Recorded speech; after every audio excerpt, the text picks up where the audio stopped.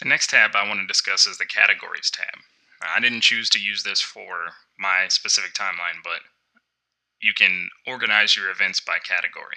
So if you go here and you click on the new category, we can say history or something to that nature. You come up with a title and you can change the background color of those events. So you can organize the events on your timeline by uh, title or by, um, well, by title. The next tool that I want to talk about, the next tab that I want to talk about is the Categories tab.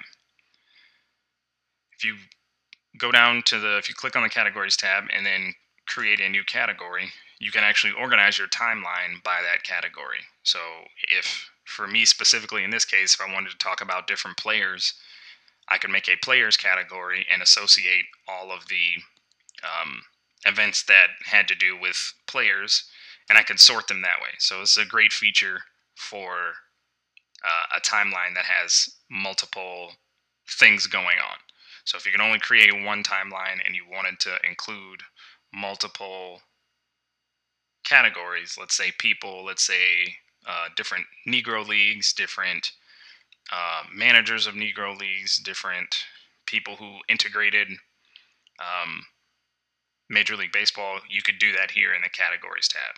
And you can change the color here, uh, the layout, the number of rows, the size, all of that. And again, like anything else in Tiki Toki, you have to save or cancel your uh, your changes.